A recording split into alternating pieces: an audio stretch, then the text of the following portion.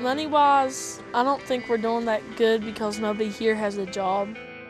When we go places, we see people with nice houses or not that many rundown places. They have things to do, places to go.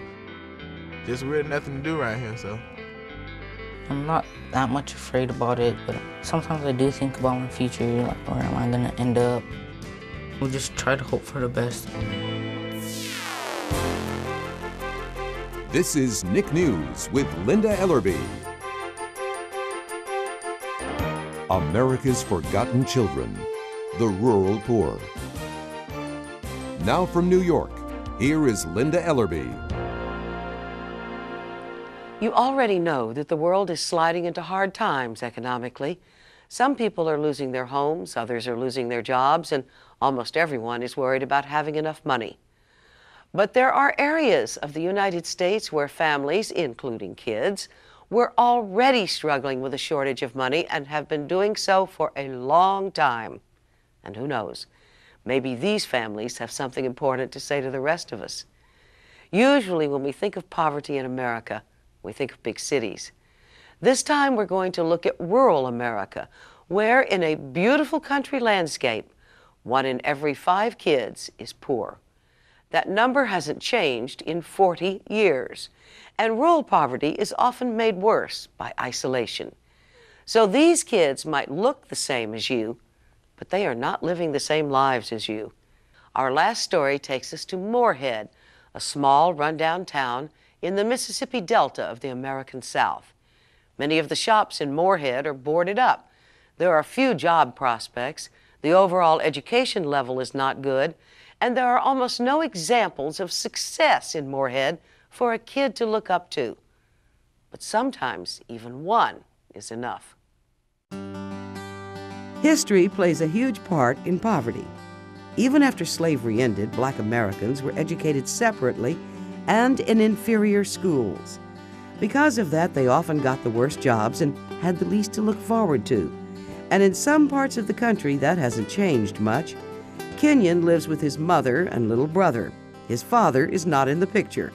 But his future is, and it's bright, even in Moorhead. It's a very, very small town. There's a lot of rundown places. The people here, they're not making that much money. Everyone's right here in the same boat, probably just enough to get by. We're doing pretty bad to other places I've seen.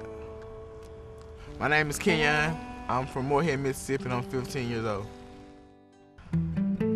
It makes me feel, you know, like we can do better or like the government can help out more.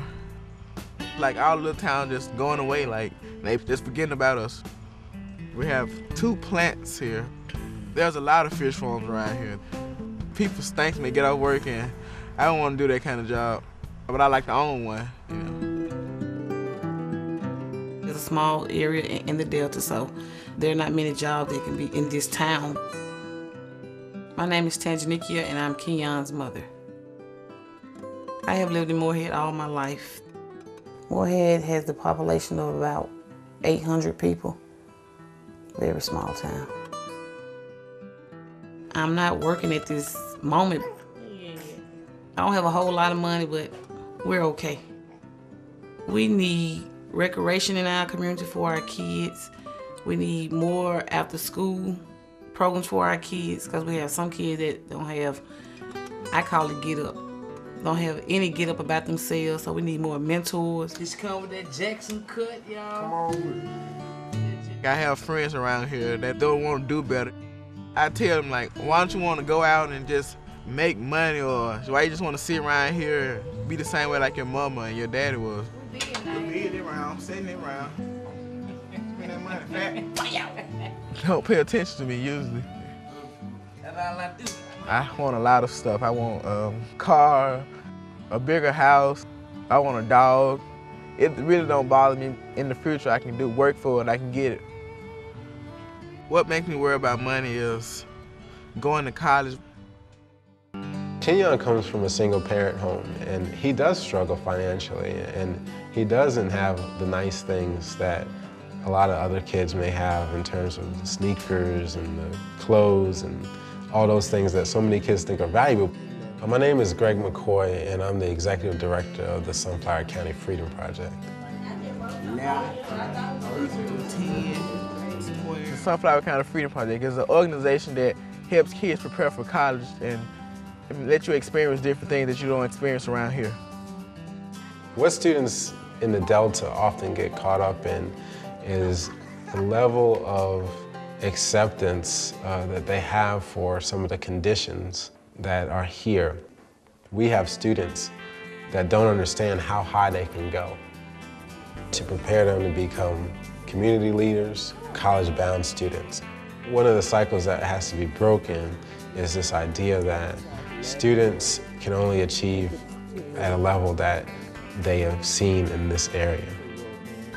They want us to come alive so we can be used to being on time or being committed to something.